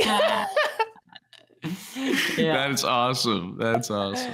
Uh, I was all excited, and he's like, "No, no, no. What are you talking about?" I mean, my Mark, money, my forty dollars. I know, I know. that I'm totally gonna redeem. Man, like I'm, that's definitely getting sent to me. I'm super excited to hear all that, Jens. I hope you yeah, had a good time. I think the elephant in the room when it comes to LAN and LAN locations yeah. is France. We got to go there. Paris. We have to. But I, am glad they didn't I'm not do it. saying we, we got to go there, but we got to yeah. go there. Oh, we I'm, we say it. We got to go there. I I'm glad they didn't do it this year though, because sure. I if they're gonna do Paris, they better, they better yeah. do like they need all the yeah. time in the world. They need to get everything right. They need to get the right venue. Need, everything needs to be lined up because that is a genuine like that could be the tier one like like leaping pad. 2025 right? World Launching Championships. Pad. Yeah, like Paris, France. I mean, I haven't heard anything, but it has to be right. It has to be. we gotta go, dude. The French yeah. have absolutely hard carried the esport yeah. for you know what? almost the entire time. Yeah. Can I can I say one thing before we move on to speed taking? But yeah, you know, I was watching and it, and it dawned on me. Uh, I think probably this the Saturday or maybe the Sunday. I was looking around at the crowd and, and I was looking at the players, and I and I'm thinking it was sorry it was during uh, Karmine Corp Gentlemates, and I, I was looking around at the players, looking at the crowd, and I thought, you know, I understand that there is a player who's won more than him, but there's just no argument for anyone but Kaydop as the most important and the greatest player yeah. to ever touch the game. Like this is all him. It start he was the seed. The like effect. Like this the, he set this culture in this in this in this he was the water drop. excellence. And yeah. then there's like like ripples. the orgs that are in the game that are yeah. all French based. Every all the teams that are French based, the fans, like he has this is his like his doing inadvertently. Yeah. But like to watch, you know, us get to a point like in the maturation of the game where you can physically see the impact that certain players have had on the culture of the game is unbelievable. And I think we already give K so many flowers for being a great player, but what he has done, his influence has done since the beginning of the open era is like among the best any esports player has in terms of their actual impact on the esport. He has changed, not only changed, but kept this esport afloat and prospering with his influence and the way he's brought the country of France into the game. So shout out to Kaydop, man, the GOAT, Solary top eight, Major two. The dot. All right, well, let's jump to speed taking our final uh, segment of the day. And we'll obviously, we, we kind of alluded to it there. We'll cover the World Championship announcement here at the end. But speed taking, First up. Huh. Who want, uh, which, which of you want to go first? I mean, I'm gonna look here for a moment, and I'll, I'll throw you. We one. heard it. We heard enough from Jens for a while. Throw me one. We did hear enough from Jens. Okay, No, we well, can let's hear go. enough. Let's We go never to hear Michael then, because I know that uh, I I know that you you enjoy this discussion and this player. Seikoo is quietly making his way into the goat discussion. This is an interesting one for me. I'm gonna try to keep it kind of keep it, keep it speedy. Um, I have been a big proponent of being the best player on a title team. I, I think Seikoo. I thought he was the best player in Gentlemates. It's d- debatable. I think he was. I don't think he was the best player or the centerpiece of the BDS team. Is he now getting into top 15, top 10 all time? Four LAN finals, two LAN championships, one of them being a world's. Yes. Um, I just think that, like we just talked about Kaydop, the influence he's had, the influence of players like Justin Squishy, the winning of Turbo. There's a such a there's that that upper upper echelon, even M0nkey M00n and the dominance he had over over a region for so long. Um, I don't think he's going to get to that goat tier yet. He'd have to win, I think, a few more LANs just because he has never he is only he was only the greatest player in the world for a very short period of time. Uh, but listen, I love him, and I think he was being unbelievably underrated. He is one of the gods of the open era. You know, he's been to f- half the LAN finals. He's won two. Uh, no, but I love you, and uh, he, Well, you know, One of the things he has going. for him is, is like his career's actually been fairly short. Like he's still pretty new, and he's already his got third all year. these accolades and achievements. So, I mean, I still remember when he popped on the scene. For me, I know that he had been playing, but when he jumps on endpoint That and first he's just absolutely bawling, I was like, "What on earth? Where was this guy?" He was the best player in the world that online. 100%. I, I, I won't have it. He Hundred was the best percent. player. It wasn't close either. Yeah, and he's molded his game to be able to fit around other players. Like he didn't have to stay in that hard carry position. He's he's phenomenal. But let's pump the brakes on the go discussion. There's just so Yeah. many unbelievable players. We've Bring it. already heard a little bit about it, but I want to hear more about what you have to say about this. Karmine Corp are still the best team in the world despite losing in Copenhagen. Yes, yes, they are. Um, I totally understand that. You know, you know, there's like this debate about like power rankings or, um, you know, I don't know how, however you want to phrase it, but the most recent winner of the most recent event makes the most sense to put as a top team. But I am looking at this uh, just a little bit wider, I guess. You know, my I'll, I'll open up my lens a little bit larger than just this strict event. Um, full credit to Gentlemates. I also think they have shown us that they're capable of that with that first event that they played in. You know, they they like our estimation of Gentlemates has done this Mhm. in the like two months that they've existed, right? And and they're incredible, incredible players. But the body of work that we have seen from Vatira and Rise and Atow um, with his liquid, you know, debut and like from the jump, top four all the way through, right? I think that is just a level of talent that is possibly second to none in the world. Um, I think there are maybe two or three other teams that are on that same level as far as just S tier player, S tier player, S tier player. And they have something that I just don't really see present in other players. And it's that thing that we've we talked about where the stakes get larger and they get better. Um, you know, Mhm. things get more intense and they get better. We did see that with Gentlemates, and maybe that will continue to be the case moving forward. But for me, I if you were to say we're going to put on a LAN tomorrow, it's going to be the, the the LAN to determine the best team in the world. I'm just going to take Karmine Corp. I, that's just what I'm going to do because they have Rise, they have Vatira, who uh, again, it's just how many is this? How many 26 championship Sundays in a row? 26. 26 championship Sundays in a row. That is bananas. That is crazy. The model, the ultimate floor raiser. The ultimate, the ultimate floor floor raiser. And um, I think Atow is a, a, phenomenal addition to this team. You know, brought a little bit of like the wild card kind of play. Mhm. We saw that with the flip reset, ground pinch, top right slot in game six Goal overtime to tournament, push the man. series into What a seven. Like goal. just Near Tokyo, unbelievable. You know, they're they're they're they're they are, and then they have Farah as well. I mean, they are a special team, and I know that they fell short this time, and I do think that you know they they were lacking a little bit of that clutch factor. I know they brought it back, but they had some pretty uncharacteristic misplays, some some just straight up whiffs that you almost never see from those players. So they deserve to lose. They deserve to be fourth, you know, third or fourth. I'm not saying that they should have won. I'm not saying that, but are they the best team in the world? In my opinion, yes. Yeah.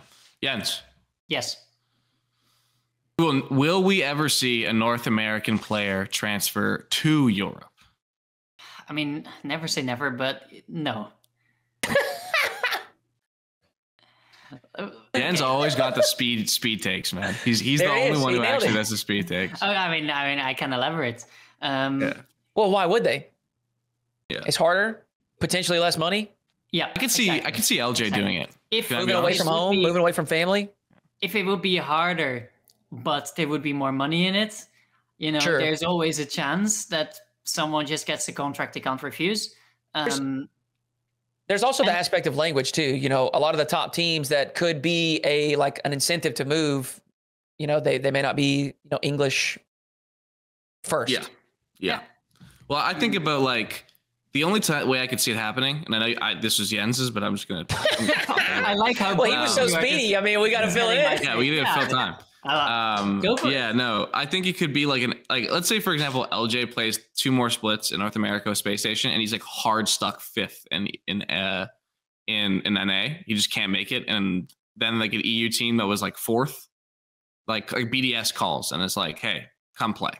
I think he would do it because the top of NA salaries are very similar to the top of EU salaries at this point. It's just that like on the lower tiers, it's like a little still a little lopsided in NA's favor. Um, but it would have to be that situation, like a ridiculously There's- talented player who can't get his who can't who can't get the team right, or there's all the talents consolidated and he's the odd one out, and then a team that's making majors in Europe asks him to come. The the only problem with that is that there's just an abundance of talent in Europe. Yeah, that's the Like they don't they don't need to go across the way. So Even though reverse, I had this theory that Zen was gonna like do a reverse turbo and bring an NA player to like win the world championship again. That's not happening, but it would be so fun. I love this. Um, I, I, I agree with every word that's being said, and I don't have to add a single thing. there you go. All he had to say was nope. Yeah, exactly. um, hoodie, I got one for you. All right.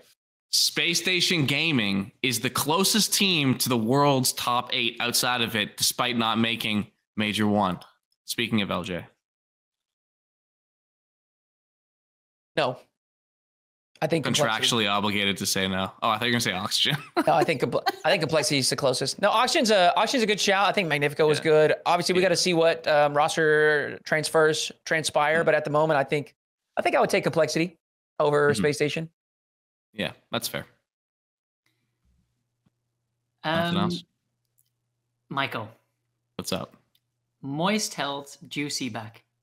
No, actually, Oh, I was watching. I rewatched Ooh. KC uh, Gentlemates today, and I was watching Juicy, and it was actually really cool because you can actually see like Joyo's influence on the way he plays, the way he just will like try stuff, you know, pull it out. The, like he'll just do whatever. He's like, Yeah. you know, game six or what? Game seven overtime or game six overtime or something, and he's on the back wall trying to redirect it in, like with the series on the line, with his tournament on the line.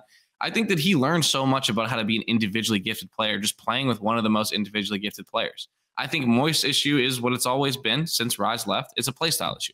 It's that they don't play the way the other teams play in Europe, and it's costed them. Uh, I think that he took a lot of what he learned individually playing from Joyo, that what Joyo rubbed off on him, that just like aggressive, fast, like I'm up, I got boost, like Yeah, let's see what we can pull out of the hat today. And he brought it to a team with better structure. And I think if Joyo went to a team with better structure or created a team with better structure, he would look like Juicy, but maybe even better, right? Like, I, so I think while maybe he wasn't his best, he learned uh, such an essential part of what makes what made him so great while playing with Moist, and for that reason, it was essential for him to be on that team at his road to becoming a major champion. But let me let's finish it off with Hoodie. Yep. Um, my take is, you know, so we've been talking about production stuff, but DreamHacks are the most fun LANs and need to be brought back if Rocket League wants to be a tier one esport in the future. Off season, I should say. And Off season. that's what I was gonna say. Can I adjust it to just like non RLCS LANs? Sure. So There's no like your. DreamHacks, your Universal Opens, your WSOE E type stuff. Beyond the Summits, or or what Yeah. you know, whatever org uh, tournament organizer. Mhm. I think yes. I think yes. I think they are. I think they're more fun. It's a different way because RLCS is the premier circuit. It is the thing where it's the most intense. You know, the players feel the most pressure because this is the thing that's most important. Like nobody cares that you won four DreamHacks when your career's over. I- I don't mean nobody, but you know what I'm saying. Like compare that to winning three majors and a world championship, and it doesn't matter, right? Nobody remembers the two-time DreamHack winner. They remember the two-time world champion. So, I remember Shawset 45. I don't know about you guys. but those And the those tournaments provide Stone. those tournaments provide that same level of competition Mhm. and the same entertainment value for all of us. But I think it allows those players to express themselves a little bit more freely, maybe play a little bit more relaxed. Obviously, they still want to win. They want, but I mean, y'all think about Randy Gibbons River Rats. That's not happening at RLCS LAN. That's happening at a DreamHack, and that is freaking fun. That is so sick. Yeah. Uh, speaking of Shawset, the DreamHack Fennec pop off yep. is Change the the- game. that is the you know crystallization moment of the Fennec meta. Like that is when it happened right there. So I think those DreamHacks and, and just off-season tournaments in general, whatever you want to call them, you know, the, the LANs put on by other tournament organizers outside of the premier circuit are very fun because they are just not the premier circuit.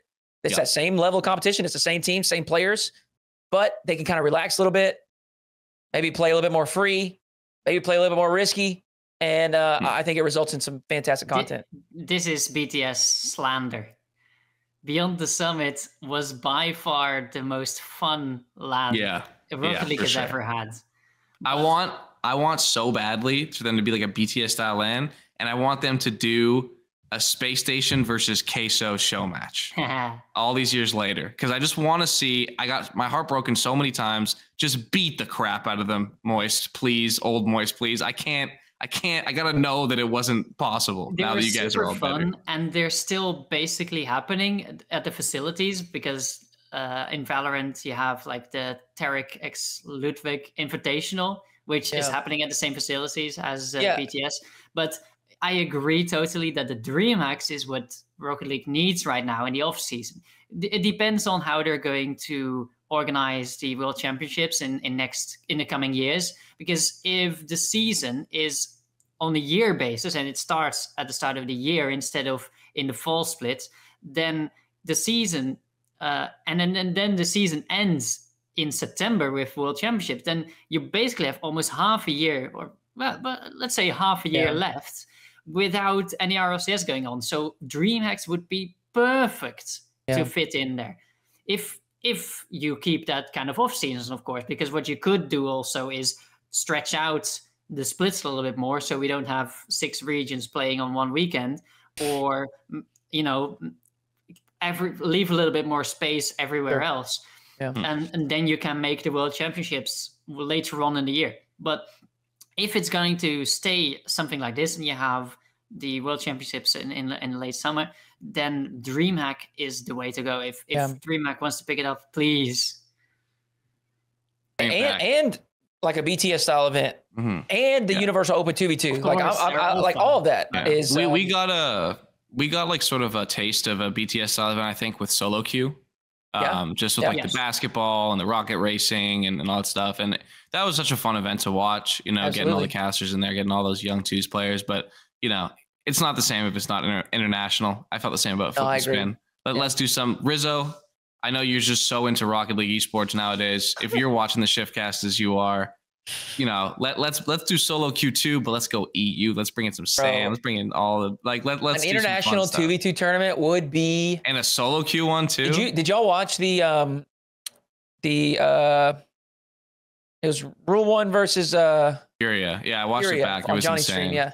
Yeah. Oh my- nwpo, bro. That went hard. Yeah, it's a nwpo Yan show for sure. They, but dude, they were clipping, man. It was Yeah. so much fun. Twos just provides those, you know, um, mechanics, freak of nature players the space that Yeah. they need to pull off, you know, the 720 triple reset, double tap, double tap, Yeah. musty flick. Uh, it's just insane what they can do, and it's Bring- on, dude, it's on command too every time. I- International show matches in general, even in Yeah. 3v3, are always great content because um, Greybeard, the South, uh, South Saw that. African caster, put on a show match between Elevate, Elevate, Elevate and, and and Limitless. Limitless. And Limitless swept them. Limitless swept them. Yeah, swept them. I couldn't believe that. I really couldn't. I, I Yeah. was shocked by that result. I mean, it's a Give show me- match, but still. Sure. Give me 2v2 LAN invitation. Okay. Jack Yes. first killer, Dan beast mode, Yan lost. Give me CRR Raise Bull. Yes. Give me nwpo Ahmad. Give me Kalir's Rawas. Even I'm sorry, TRK, but it is what it is. Yeah. And then Maybe give TRK me nwpo. Yeah, TRK nwpo. Sure. Let's just let's bring them all together. Bring them all. Uh, or he can go on loan to the org and then give me Vatira and Atow and give me, you know, we'll do it again. M0nkey M00n and Zen. 16 players. Just do a little little group stage, maybe a little Oh. double elim. That's free. That's a little free. Oh money. my god, that would be so incredible. Yeah. Feel free to steal this idea. Yeah. Someone Whoever's please. watching, lock in. I'll be there. Oh my goodness. It would be so much fun. Yeah. But we'll, we'll like we said, uh the off-season stuff, there's some space for it. And I am I'm hopeful that some tournament organizers want to fill that space with some fun Rocket League content. I mean, it's uh like we said in the past, I mean, what was it? 2019, we had eight LANs. Hmm And there's so many fun stories that came out of them, right? So, And I'll say this too, because you know we hear we hear this like sentiment from pros, like it's too much. I can't do this Mhm. much. It- you know, it's it's exhausting. The thing that's great about those LANs that are not tied into the premier circuit is if they need a break, they can take it. They don't have to go to the DreamHack. They don't have to go to the BTS. They can take that break. They can take a vacation, spend time with family, whatever they need to do. And then the teams and players that do want to go, they still have that option. So we do have the potential for, you know, as far as viewers are concerned, a year full of RLCS caliber Mhm. competition. Yeah, and teams can take them some off if they're burnt out. Like you don't have to play in them. It's not like That's. RLCS, right?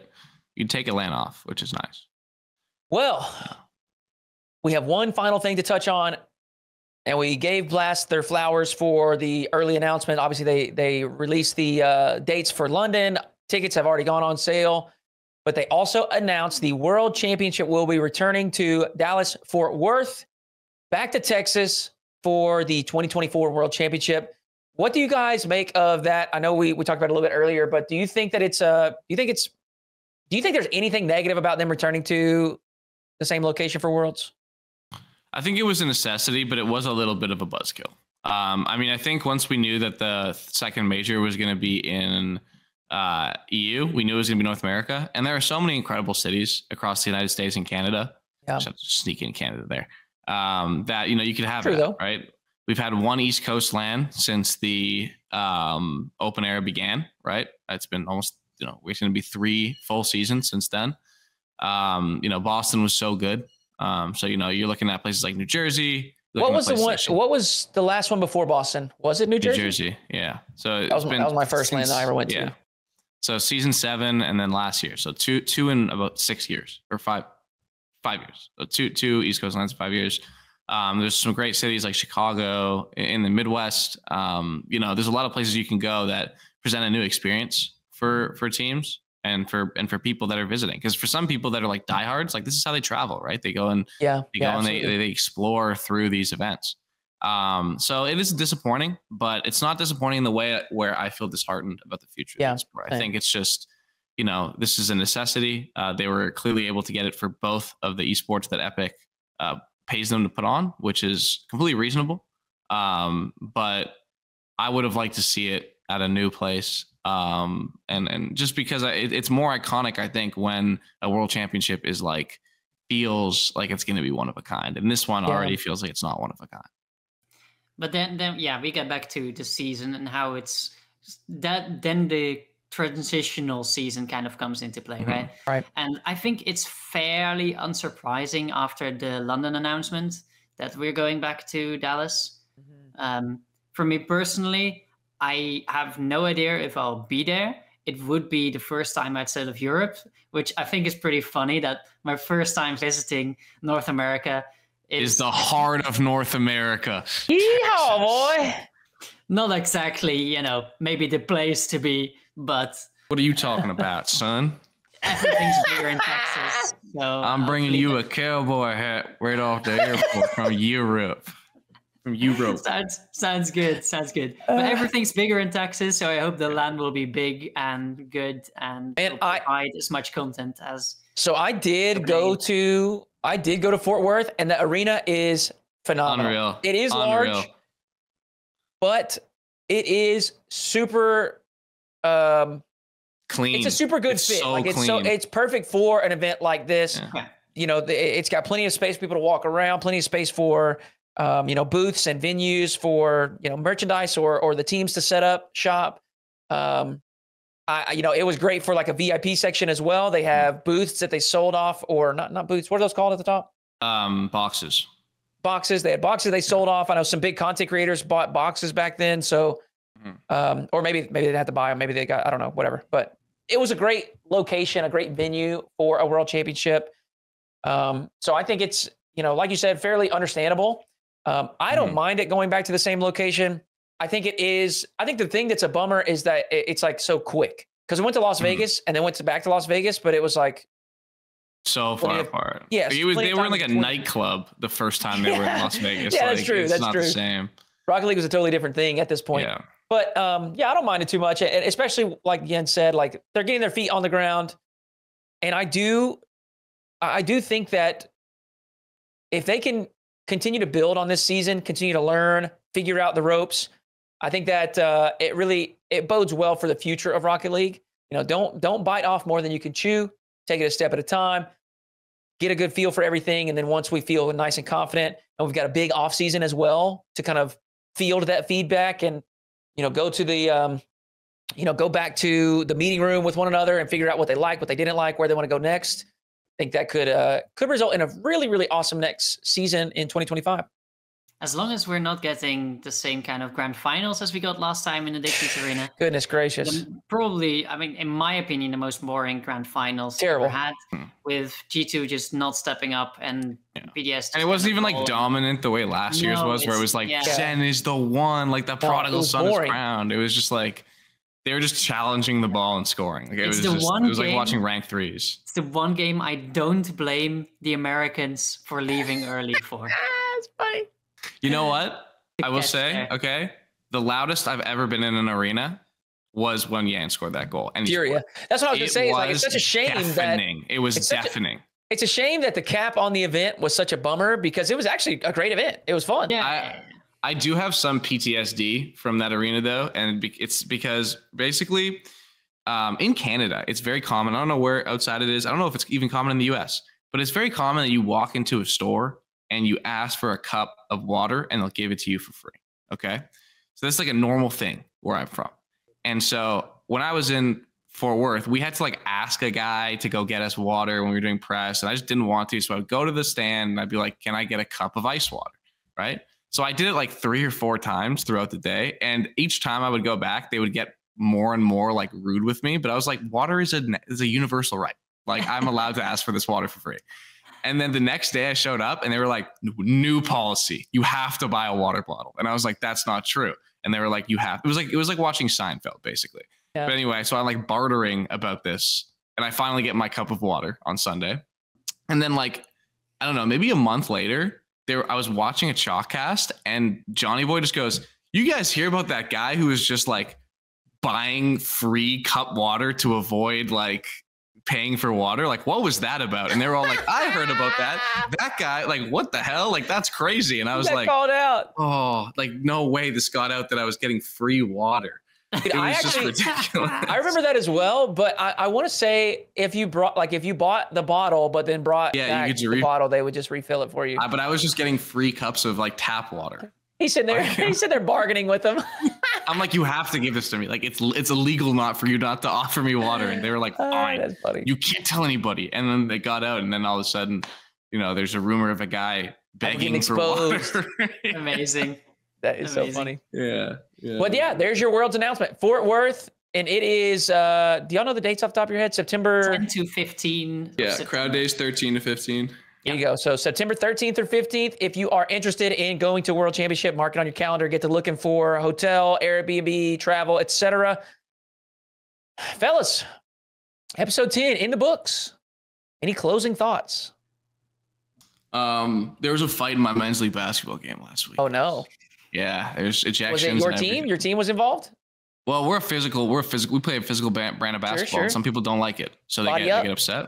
Yeah. But uh, you know, once that it was a four point game when it happened, and we went on a 12-0 run right after because some people can't handle the heat. We we calmed down. I got him in the thing. I got him in the huddle. I said, boys, this is where we strike. They're all riled up. Keep it calm. Move the ball. Get easy buckets. And it was over. So we're on to the semis. Very exciting stuff.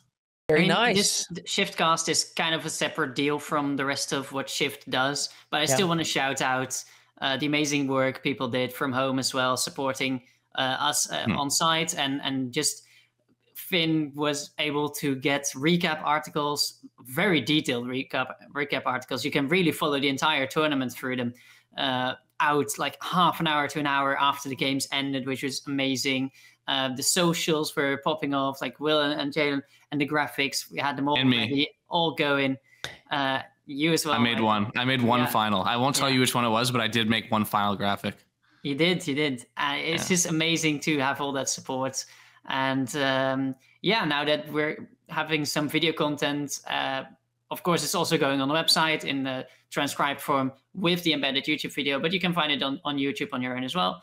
And yeah, we're working on things. I think this is best coverage we've done so far. And like Blast, it's only up from here. Nice. We're rocking and rolling. Y'all join the shift cord. Get in there. Drop your takes. We'll catch you. Uh, uh, we might grab yours for speed taking. Leave your comments down below. What you think about Worlds? Are you excited? You disappointed? Uh, drop some. Drop your top five. Who do you think is the best five teams in the world? You still got yeah, Karmine Corp. You got Gentlemates. Let us know down below. Thank you for watching, and we will catch you next time.